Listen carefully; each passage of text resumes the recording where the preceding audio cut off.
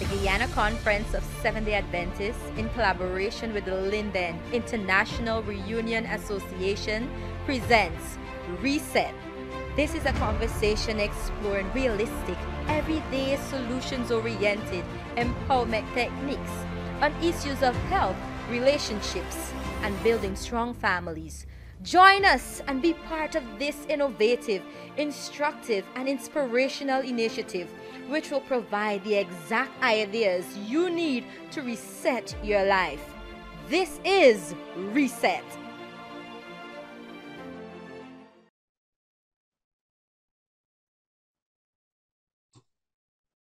Ladies and gentlemen, welcome to Reset.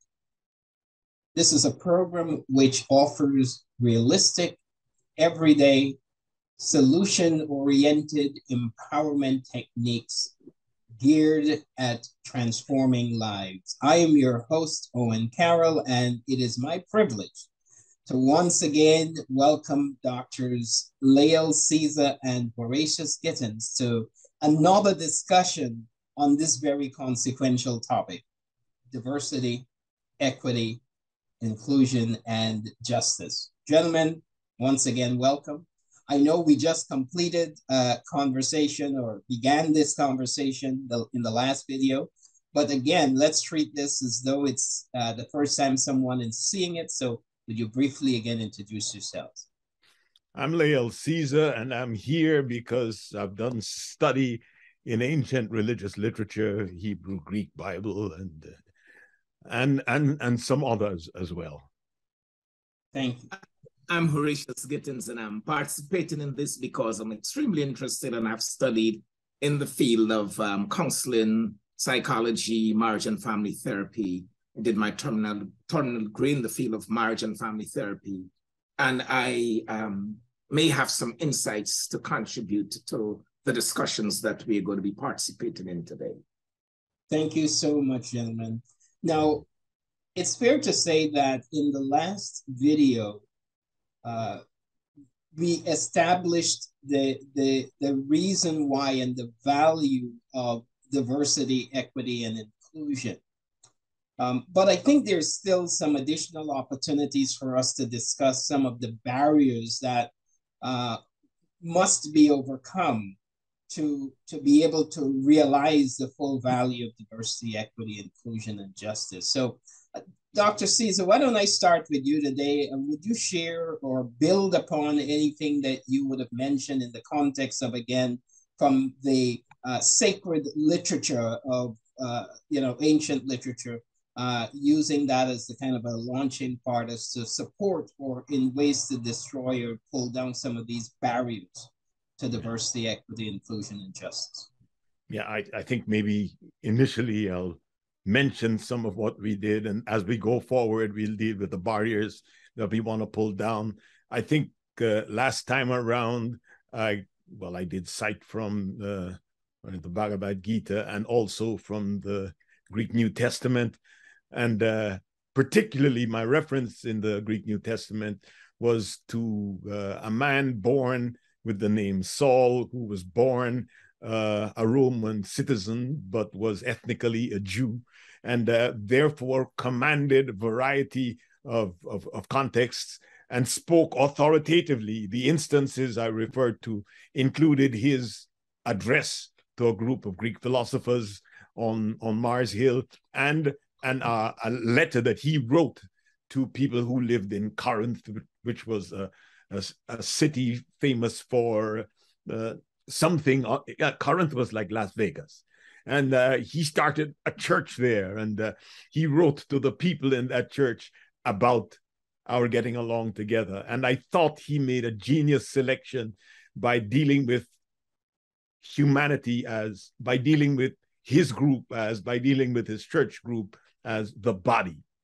And I think in my Guyana, one land of six peoples we sing I think that that reference to and that illustration of the body is powerful because Portuguese can't tell Indians and Douglas can't tell uh, uh, First Nations and uh, I don't need you because we are all part of Guyana.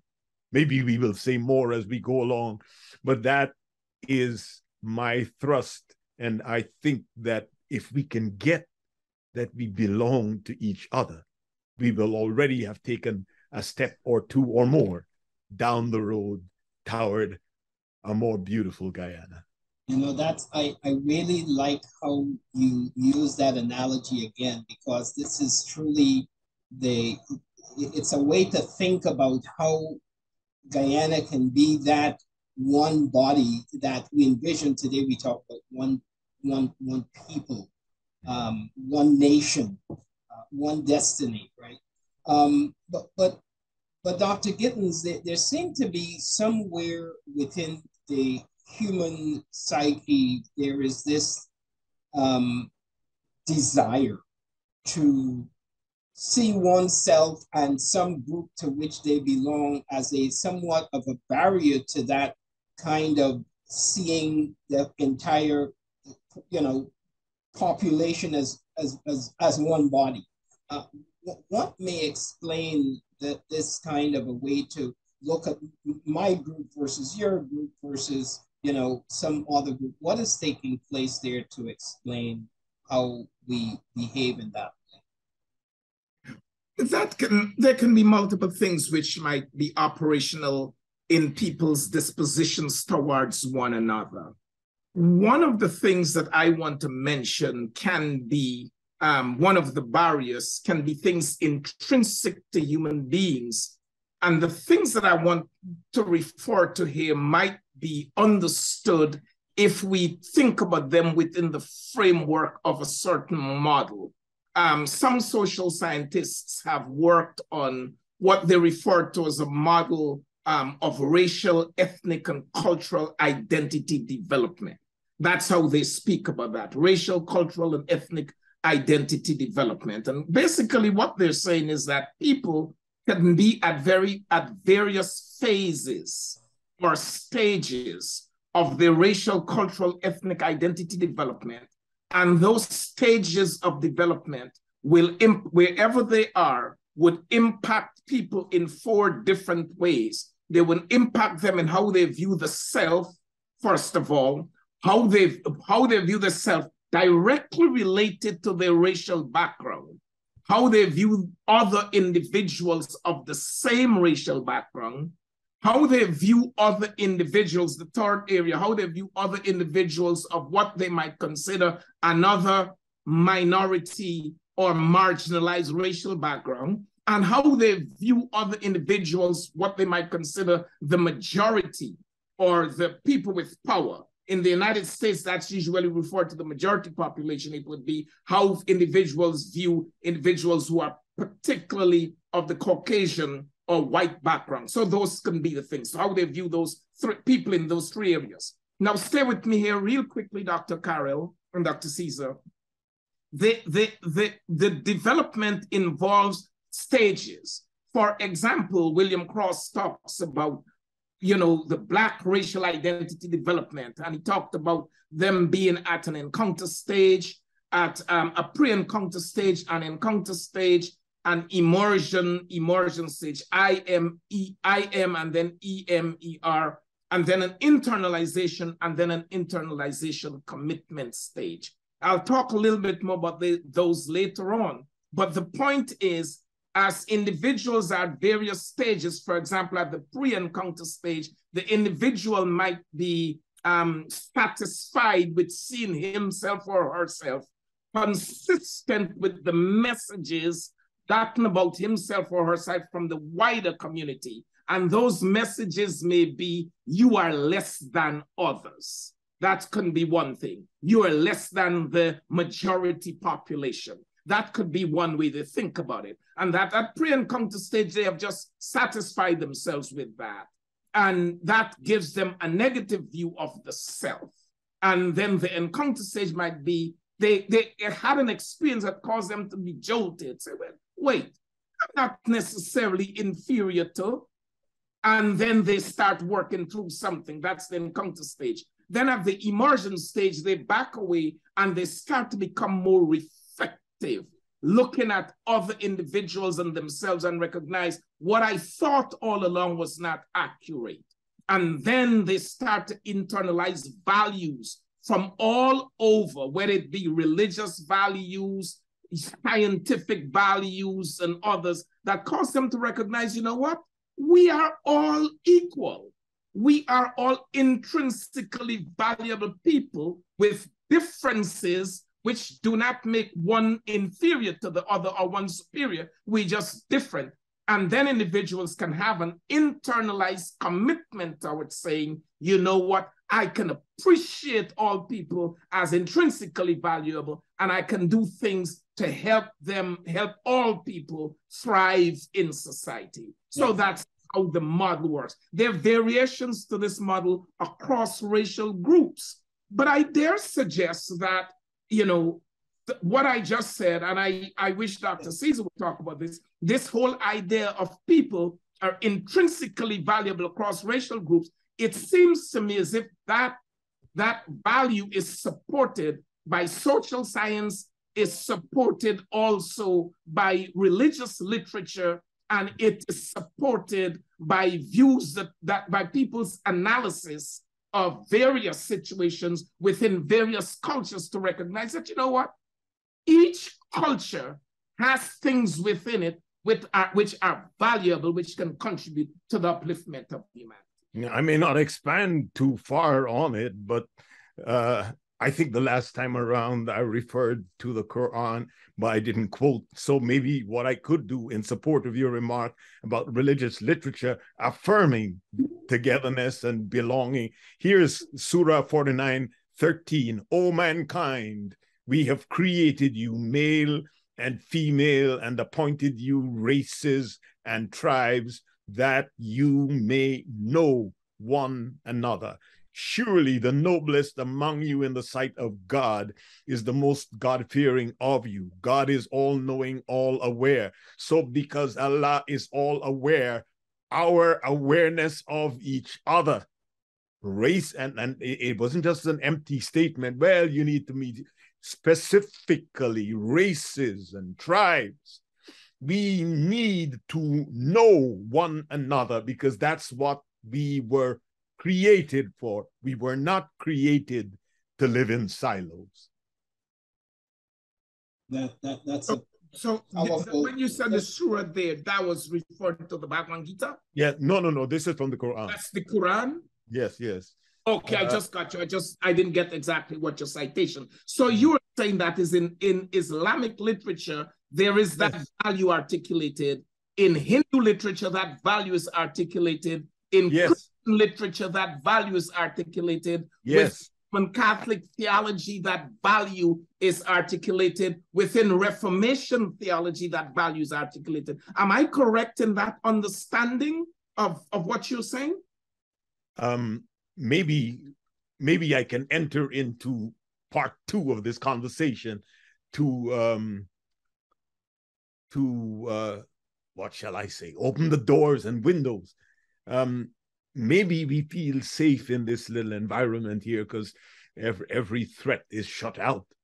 But the truth is that our practice does not uniformly conform to the documents and literature that we extol as as as as our texts of instruction as statements of our beliefs and um i'm i'm i'm thinking of american protestant christianity at this point Mm.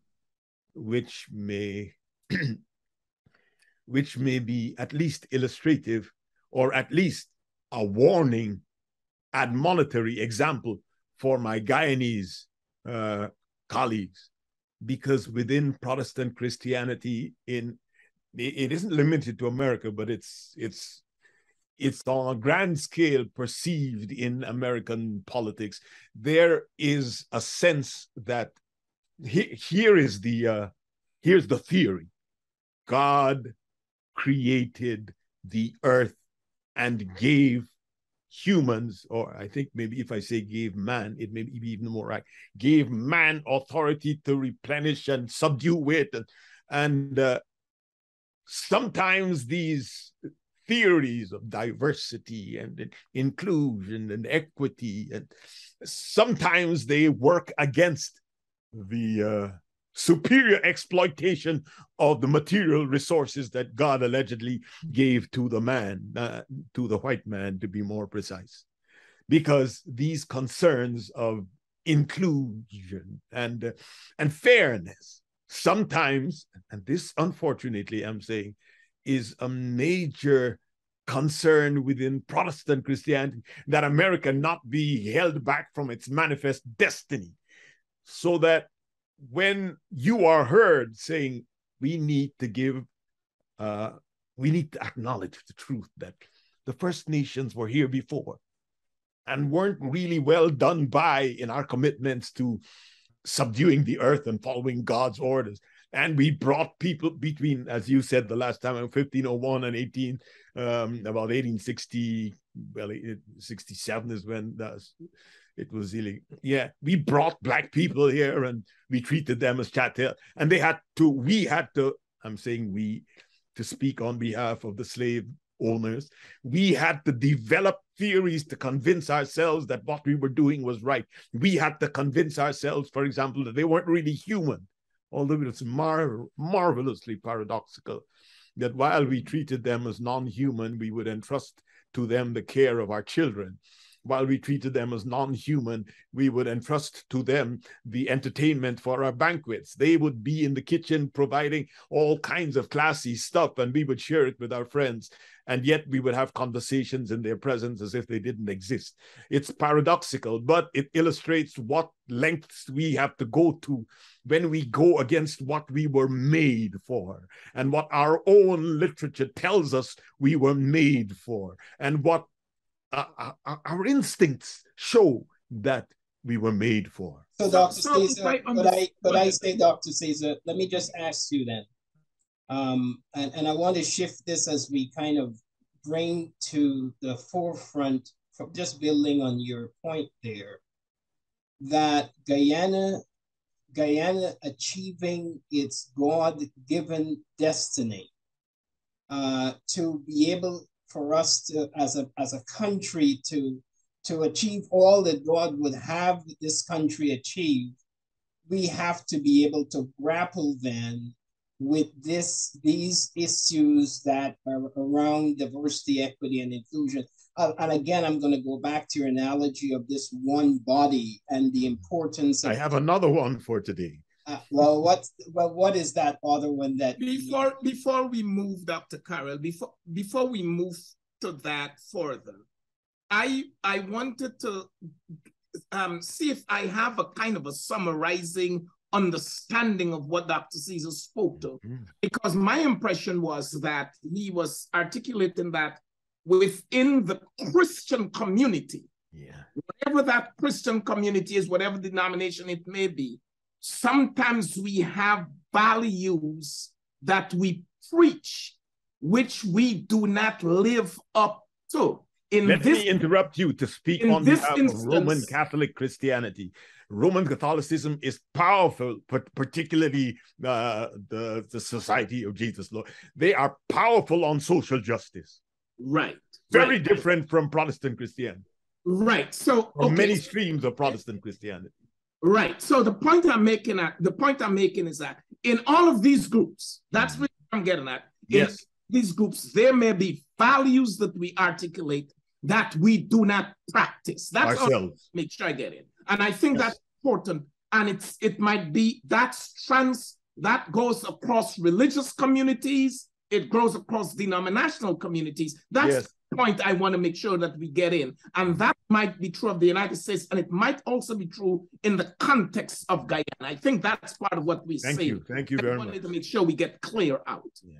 Which is why I said it might be admonition to my Guyanese colleagues. Please okay. Let us see where the traps are and where the stumbling blocks are and where the potholes are, and let's not drive our car into the potholes.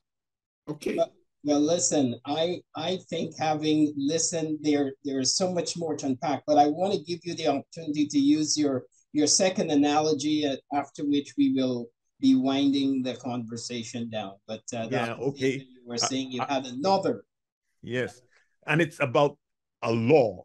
It's called the levirate law because in Latin, L E V I R, uh, levir means brother-in-law, and this strange, weird practice is powerfully symbolic. What is the levirate law? Well, if your brother, your older brother, gets married first and he dies and he doesn't have any children, if you are the second brother, it is your obligation to go and take his wife as your wife. But the explanation why, the explanation why is what is lost on people so that when Jesus Christ comes in the New Testament, there are Jewish intellectuals who grill and drill him on that. Say, so tell me about this law. If I get married and then uh, I don't have any kids and I die, and then um, um, my brother takes this woman and then he doesn't have any kids and he dies, and then the third one takes it, what kind of what's going to happen in the resurrection? Whose wife will she be? Jesus says, You don't understand the first thing about the power and wisdom of God.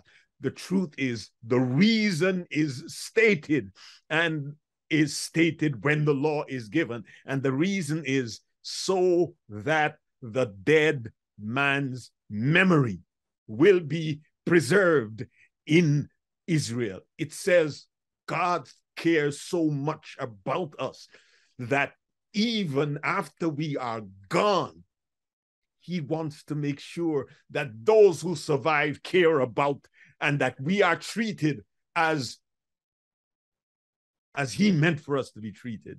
Valuable. Sin entered and valuable. we ended up death and all the rest of it.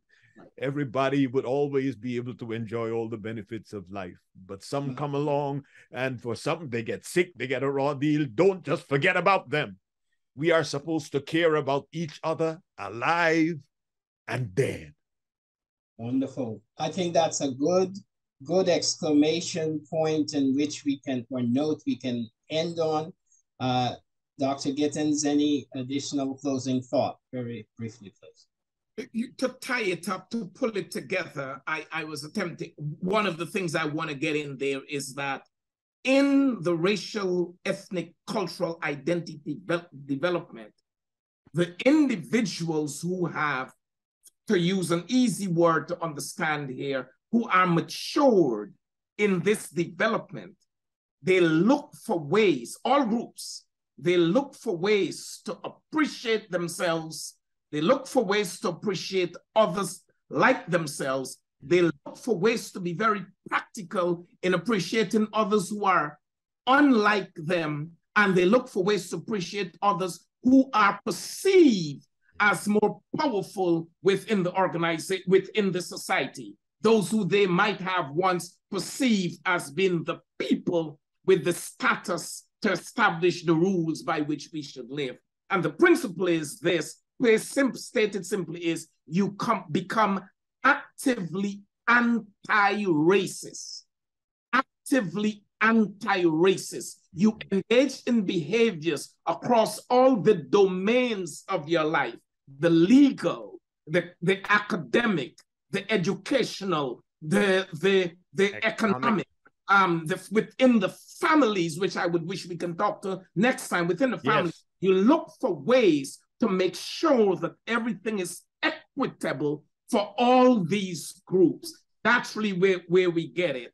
And so to close this out, therefore, Dr. Dr. Carroll, the principle I will throw in there is that the master seemed to suggest there um, this, uh, um, you know, to, to resonate with this principle when he said, whatsoever you would that men should do to you, do ye even so to them. That's really the summary of all the laws and the prophets. That's how I see it, Dr. Carroll. Thank you so much. Thank you so much, gentlemen. You know, I, I would close on saying a little, uh, saying it a little differently after listening to such a spirited conversation. But what I remember, just the simple thought of just loving and caring for each other is a simple way for Guyana as you deal with some of the challenges that we heard about today, um, that we begin to care for each other so that the country can become all that God really wants it to be, especially in this time. So, gentlemen, again, this was a real good, very lively, spirited conversation. Thank you so much. And to those of you watching this video, I hope that this discussion has provided you with some realistic, everyday, solutions-oriented empowerment techniques that will really transform your lives. Until the next video, I want to wish you good health, peace, happiness, joy, and God's richest blessings.